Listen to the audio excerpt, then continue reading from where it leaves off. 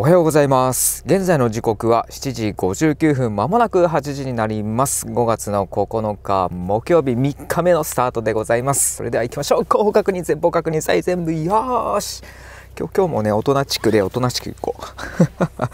総走行距離が327.9キロ平均燃費が16.4キロでございます。でガソリンが半分切るか切らないかぐらいなのでちょっと念のためですねガソリンスタンドに寄っていこうと考えています。おりゃあとりあえずねエネオス つきました。ここでガソリンスタンドで入れていく。現金で廃屋満タンお願いします。廃屋を満タンはい。よいしょ。ありがとうございます。よし。しゃあガソリンも満タン入れてこれで。もう爽快。何も気にしなくてドライブ。楽しめるぞ。旅を楽しめるぞみたいな感じで中途半端にダラダラ話していくのも私ならでは。レッツゴーで途中にですね柿崎海水浴場っていうものがありましてまあ、駐車場もあるんですよ砂浜の近くに。そこに止めて一旦日本海を見てみようかなと思っております。うお 日本海です。来たでここが駐車場らしいんですよ。ああ砂浜の駐車場か。まあいいや。せっかく来たから突っ込むぞ。ということで来ましたよ。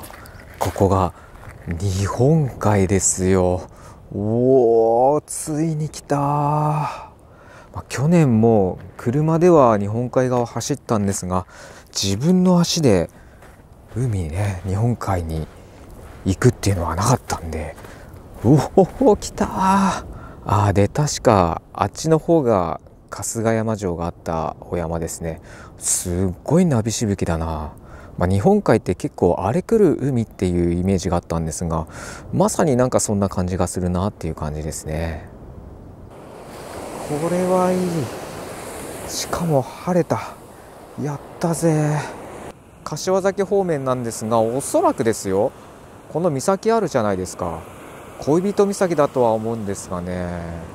まあ夏場になりますとこの辺海水浴場で結構にぎわうようなイメージはございますが今の時期は全然オフシーズンですから誰もいないっていうのもねすごくいいですよね。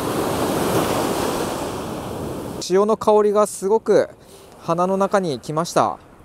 いやー初めてですもん日本海、まあ、海は海でね一緒なんですけどやっぱり日本海って聞くと太平洋じゃないですか。あごめんなさい。太平洋じゃないじゃないですか。でこの先ずっとまっすぐねあの海の方を越えていくと多分中国大陸とか行くんじゃないかなとは思っているんですがうおちょっと待ってこれ行けるところまで行こう。波が来る波が来る。おおすごい。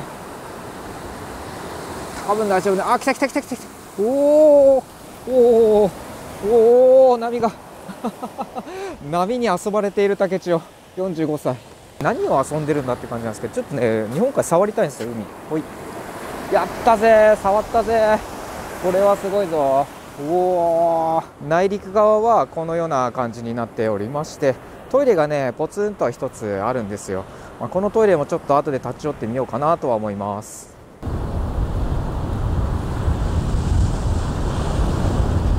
このトイレもかなり レトロ感あふれる建物だな作りだなっていう感じがいたしますが、まあ、結構古びた感じが否めないですね。ただ匂いの方はあまりしせずですねいい香りが漂ってきますのできちんと整備されてるんじゃないかなとは思います。男子さシャワー室みたいな感じで。じゃあ気持ちよかった。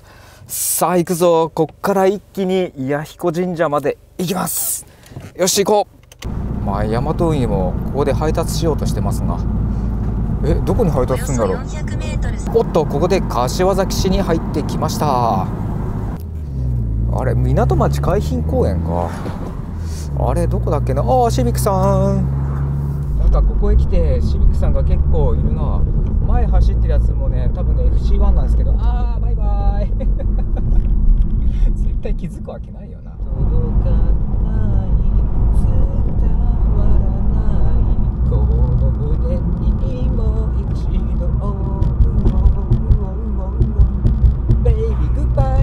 度ベイビーグッバイあグッバイじゃないや。現在の時刻が10時48分を回りました。先ほどの柿崎海水浴場から出発いたしまして約1時間10分20分ぐらい経ったところでございます。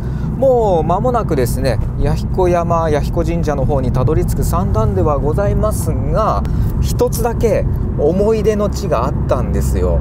この道沿いなんですが左側にですね道の駅国神っていうんですかね道の駅があるはずなんですよ。そうここでですね2023年の9月の終わりの方ですかね。ゼロックスさんと佐伯さんとメロさんとお会いいたしまして HKS のフラッシュエディターとホンダーターの検証をさせてもらったところです。そしてポツンと小屋みたいのがうっすら見えてきました。あれがですね道の駅国上だうわ。でせっかくなんでちょっとお土産もたくさんあったから買ってみようかな。あのライブ配信でねショーンさんと二郎さんにスーパーチャットでお小遣いいただいたんでこういう時に使わないとね本当に感謝感謝でございます。さあ国神の方に入っていきましょう。お前さいや彦神社に行くんだったら行くって言ったんだから行けよなんてね思うかもしれませんが。いやいいんですよ。そう。であの正面の駐車場あるじゃないですか。あそこでサムネ撮ったんですよ。で集まって集合したのがこのちょうどこの辺りだなこの駐車場でパカーンと止めました。今戻ってきたんですけどなんかね売ってなかっためぼしいものが。まあお前何が買いたいんだよって話だと思うんですけど。実はねなんかこの中に着てるんですけどご当地 T シャツみたいのあったら買いたいなと思ってたんですよ。で上田に行った時に実はですねこれあーちょっと見えないか。こここれほら。上田のご当地 T シャツ 買ったんですよこれ2300円だったんででその時に言えばよかったですよね。あの、ショーンさんありがとうございます。次郎さんありがとうございますって。ただ言えなかったので、まあちょっとまだまだこの先いくつか行くところがあるので、どっかでご当地 T シャツを変えたらいいななんて思っているんですが、新潟県でね、何かいいの変えたらいいなとは思ってるので、まあまたちょっと次のところとかいろいろ転々として、見つけ次第買おうと思います。その時にまたお礼を述べさせていただきます。ありがとうございます。行きましょう。弥彦神社あと10分程度でたどり着きます。後方確認前方確認左右全部よし。大人チックで。大人チックで行くって言っておきながらさ全然いつもと変わんないっすよね。ああ弥彦神社見えてきたよいしょ。おっと。またまた段差が悪いこういう。よくしょいいやするお危ねえさあ行きましょう。早速ですね案内図がありましたよ。今いるところがこちらの現在地になってテクテクテクテク左上の方に歩いていきますと弥彦神社があるみたいな感じですね。さらに弥彦山ロープウェイなんていうのがあるんだ。あロープウェイで弥彦山山頂に向かっていけるんだね。ちょうど弥彦山スカイラインがあるところですよね。どこ行こうかな。とりあえずやっぱり本殿の方には行きたいよね。あとトイレもあるね。トイレも行こうかな。こうやってね押しボタン式らしいです。あでもすぐ信号が青になりました。よかったよかった。さあこの弥彦神社でございますがなんと通称親彦さんとも言われてるそうなんですよね。さらに祀っているのが雨の籠山の御事さんらしいですよ。先ほど横断歩道を渡ったところがこの信号なんですよ。でその手前にですね面白い弓道っぽいものがあります。まあ弓道じゃないとは思うんですがここねなんか行けそうな気がするからちょっと行ってみましょうよ。そして趣のある石碑もありますね。あの石碑何なんだろう？あでもこっからじゃいけないか。いやこういうなんか裏路地っていうんですか？そういったところを歩くのがすごくいいんですよ。気持ちいい。あで駐車場に出てくるんですね。なるほどなるほど。だからこっちから来てもいいじゃないですか。別に正面からわざわざね行く必要もないでございますしこういうところから来た方が人もいなくていいんじゃないですか。そしてシビックさんがねもう目の前にいる。ただいま戻ってきたよ。これかっこよくないですか？このホイールキャップ。なんだっけ？あもう名称忘れちゃった。この境内の様子はお見せすることはできませんがちょっとこの見取り図をベースにお話しさせていただきます。寛平中社の弥彦神社という形になってますね。で放仏殿とかがあるところとかご神木があって鹿と鶏がいたんですよね。それがねすごくびっくりしたなっていう印象を受けました。さらにこの鶏の鳥舎みたいなところがいっぱいありましてなんと他には例を見ない貴重な鳥の種類がいるみたいなんですよね。小さなポツポツ並んでいるお社あるじゃないですか。ここが各神社を祀っているそうなんですよ。特にこの大きなところが戸柱神社というところになりましておそらくこの中では一番規模の大きいそして有名どころではないかなって勝手ながら思っております。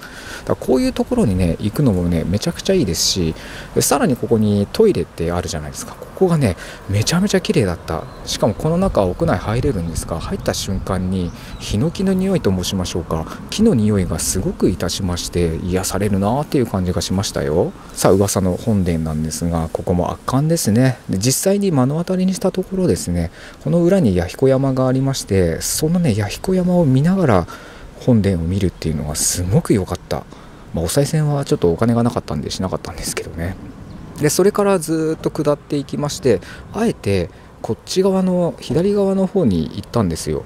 そしたら多分この辺りだとは思うんですが力士が闘技するなんか相撲取り場みたいのがありましてえー、こんなところにもあるんだってめちゃめちゃびっくりいたしました。でここから多分動画は流せるとは思うんですがちょうど東参道の信号からずれましてテクテクテクテクテクつって駐車場の方に戻ってきたような算段でございますね。ということで現在の時刻が12時2分を回りました、えー、現在の走走行距離がですね417.2キロ。平均燃費が18 16.8キロでございます。さあ行きますよ。弥彦山スカイライン。行くぜ。高確認前方確認左右全部よし。いや今日はね吉本さんがいないからね。どうなることやらね。夜間通行止め午後11時から午前5時まで。閉じ込められちゃうのかな。うお急に来た。おおうおミサイルが本当にミサイルになってた。めっちゃ怖かった。さあ長岡市に入ってきました。あっとここでセーフティーカーが登場した。で多分見晴らし台みたいなものが確か左手にあったような気がするんですよ。そこがこれかな？これちょっと行ってみましょうかせっかくだからね。あーでもすごい砂利道。あーこれはねあのねいか。な いいい例だ。ここすんごいガッタンガッタンするから下をすらないように気をつけていかなきゃダメですね。うわー見てくださいよ。これめちゃくちゃ綺麗だわ。日本海がめっちゃ広がっております。さらにですねうっすらと佐渡島が見えております。すんごい綺麗だな。おお佐渡島も見れた。もうすぐそこにですね山頂があるんですよね弥彦山スカイラインの。でただねああいうところから登ってきたんですよ。ここうおーんってうねってきたんですね。いやすっごいなこの景色すごいやばい。シビックさんもね綺麗だよって言ってくれてます。山頂方面の土台これをドーンって乗っていくとうわな何これうわ怖っうわうわ。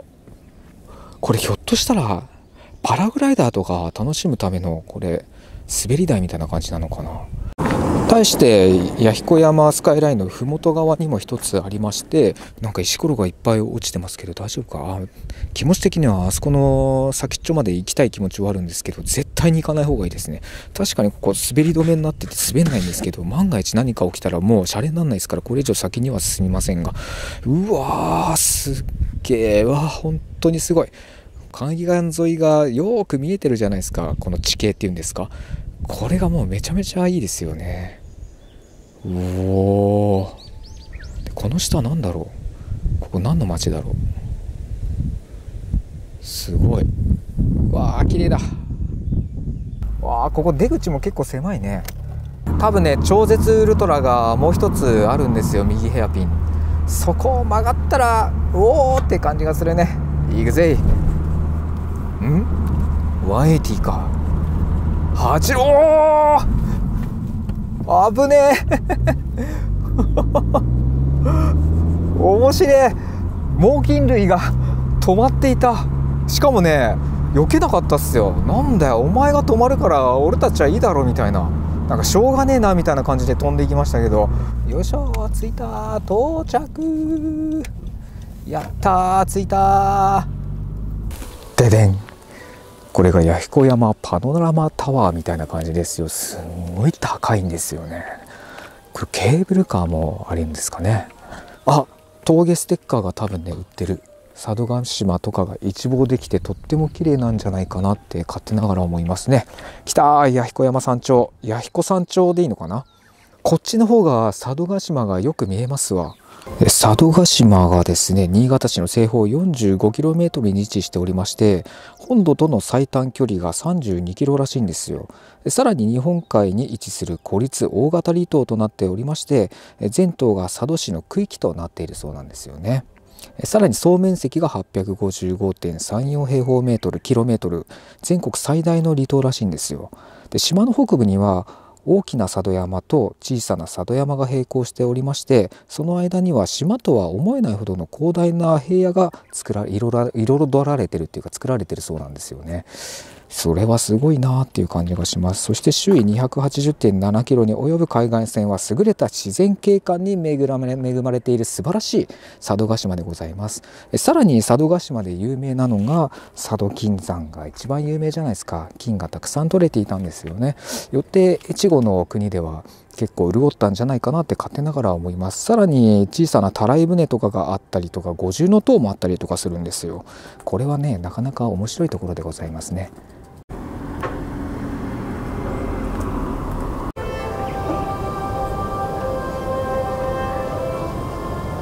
このパノラマタワーに行くためにはですねこのケーブルカーを使っていかなきゃいけないっぽいような気がしますね。でこの上にロープウェイがありまして弥彦神社の方に行けるっていう感じなんですかね。こんなのあるみたいですよ。パノラマタワークライミングカー往復セット券みたいな感じで700円えー、これぐるぐるぐるぐる回って上の方に登って眺望を楽しめるんだ。こんな感じでパノラマタワーってぐるぐるぐるぐる回っていくんですね。回っていくっていうか登っていくんですね。いやーこれ面白いな。売店に行って帰ってきました。やったぜ。ゲットしたぜ。この袋の中身。この袋じゃないですよ。弥彦己の神サビ新サビ星雲のひなによくわかんないですけどこういう風に書いてあります。やったー。これがねある意味ご当地 T シャツですよ。ゲットです。これ2200円でございます。おーラッキー。現在の時刻が13時28分となっております。さあ弥彦山下り行くぞ。でそのままですねジョンノビ館っていうところにも行っちゃおうかなと思っております。多分スーパー銭湯みたいな感じですね。高確認前方確認左右全部よー。さあ私はですね道の駅久上というところから弥彦山スカイラインを走っている今日この頃でございます。ということは下りで超絶ウルトラ8連ヘアピンが待ち構えてるっていう感じだ。右もあれば左がある。これが峠のセオリーだ。圭介走り込め。うわ圭介さん頑張ってください。僕は雨が好きなんですよ。いやーすごい。これはね踏ん張る SR6 いい感じ。これだ。この感じ全身がたぎるこのハイテンション。これぞバトルだぜ。まあ誰ともバトルはしてないんですけど。うりゃおしゃヒヒヒヒ。これで仲良くダブルクラッシュといこうぜ。ガムテープデスマッチ。ほらヒールトゥー。めちゃくちゃ。ブレーキしまくっちゃった。ほら曲がらうっしゃいたオッケー。おおまあ8連ヘアピンはこのトーク力を生かして面白く走っていく今日この頃今回ははしゃぐ大人らしくない竹千代45歳のうわ峠の走りだ。行くぜ。くおおなんか木の花が綺麗だ。